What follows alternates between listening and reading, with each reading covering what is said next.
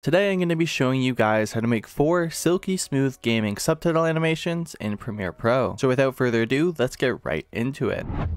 So for the very first text animation, we're going to grab our text tool and we're just going to type a specific word. For me, I'm just going to use the word smooth. I'm just going to grab my selection tool and make this text a little bit bigger. And I'm just going to hold control and drag it right into the middle. We're going to go up to the effects panel and type in transform and just double click on that transform and just make sure it does go onto the text layer. We're going to go up to the effects control panel and scroll down to the transform layer. Check off this use composition and crank that shutter angle to 360. We're going to drag our blue tracer a little bit after that one second mark. We're going to click off this uniform scale and create a keyframe for the scale height, scale width, and rotation. Drag our blue tracer halfway between that second, and then we're going to make the scale height 150, scale width to 111, and then we're going to change the rotation to 26. Drag your blue tracer to the very beginning of the animation and change the scale height to 0 and the scale width to 62 and finally change that rotation to negative 91. I'm going to go two keyframes to the right from the very beginning of the animation, select a keyframe for the opacity and we're going to go one keyframe to the left and we're going to crank that opacity down to 0. Select all the keyframes for the scale height, scale width, and rotation, right click ease in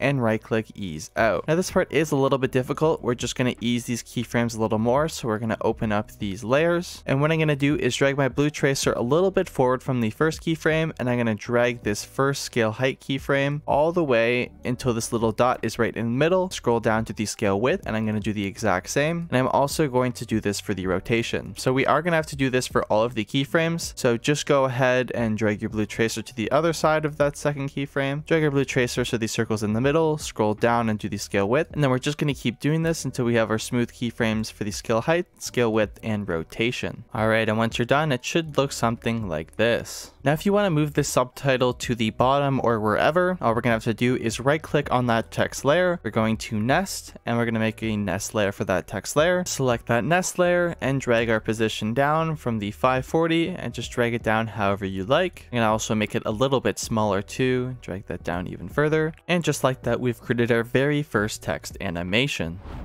For our second animation, we're going to start the exact same, grabbing our text tool and making a word. For now, I'm just going to use the word smooth. Grab that text layer, hold control, and make sure it's in the middle. Then I'm going to go up to the effects control panel, type in transform, and we're just going to double click on that once again, making sure it's on the text layer. And I'm just going to drag my blue tracer just after that one second mark by a little bit. I'm going to go to the transform layer, check off the use composition, and crank that shutter angle to 360, and then create a keyframe for the scale. Scroll back with your blue tracer tracer about one quarter or so, and then change the scale from 100 to 110. Drag that blue tracer to the very beginning of the animation and change that scale back down to zero. So I'm going to grab my blue tracer, drag it to that second keyframe on the scale, create a keyframe for the opacity, drag my blue tracer a little bit farther back and change that opacity from 100 to zero. We're going to play with the distance of these keyframes in a little bit, but for now, select all three of these scale keyframes, right click ease in, right click ease out, and then open up that scale. I'm going to scroll in a bit and then like before I'm going to grab the first keyframe, drag it in a little bit, drag this side a little bit just to create a little mountain face. And then we're also going to do that for the second and third keyframes. So these opacity keyframes are not in the correct position so I'm going to select both of them and then just drag them a little bit closer to the beginning of the animation and just make them a little bit smaller. And then finally I'm just going to drag this third keyframe in a little bit more because I think it needs a little bit of a punch. And just like that we've created our second keyframe keyframe.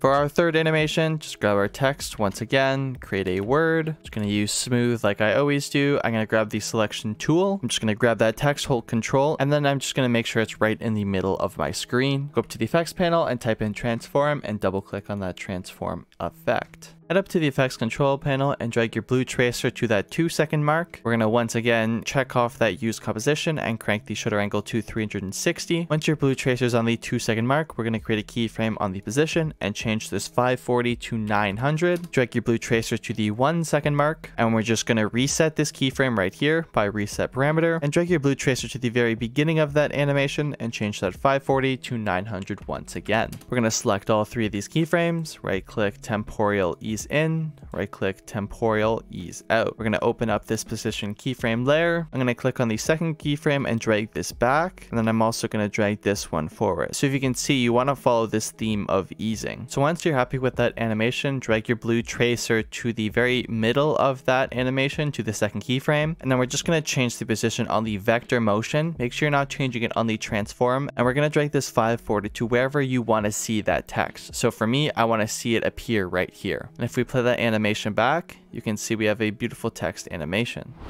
Now we're actually going to use this base animation for the fourth and final subtitle. However, we are going to have to change one thing and that's just resetting the vector motion. So the only thing we change is the position so you can just reset the parameter right here and it's going to reset that text layer to be right in the middle. So we're just going to have this basic animation here and we're going to scroll down to the rotation. Grab your blue tracer and drag it to the third keyframe. Make sure it matches up. You'll know when it matches up when this blue dot appears. So kind of just go back and forth with your keyframes going left and right with your arrow keys until you see that blue dot. That means you're matched up on it exactly. Once you're lined up with the position keyframe, we're going to create a keyframe for the rotation. So just click on the rotation right here. We're going to go to the middle keyframe, make sure it's matched up perfectly. And then we're going to change the rotation to negative six and then drag your blue tracer to the very beginning of the animation and change that rotation to 40. Select all three of these keyframes, right click ease in, right click ease out. Like before, we're going to open up this rotation keyframe. So we really want to smooth these keyframes out in a way that looks good. So just select that second keyframe and drag both of these blue dots to their opposite sides. So for this one, I'm just going to drag it all the way to the left. Make sure you're not going up and down because it will affect the animation. And then I'm going to drag this keyframe all the way to the right. Like before, we're just going to nest this layer. So just drag your blue tracer to the center or the second keyframe. We're going to right click on the text layer and we're going to create a nest and click OK. Select that nest layer and then just drag the position down. So drag the 540 down to where you want it. For me, I want it right there. And if we go ahead and play the animation back, you can see it looks very nice. If you found this video helpful in any way, consider subscribing because it's completely free. And if you want to learn how to create three more text animations, click the video on the right. That's everything for me guys. Peace out.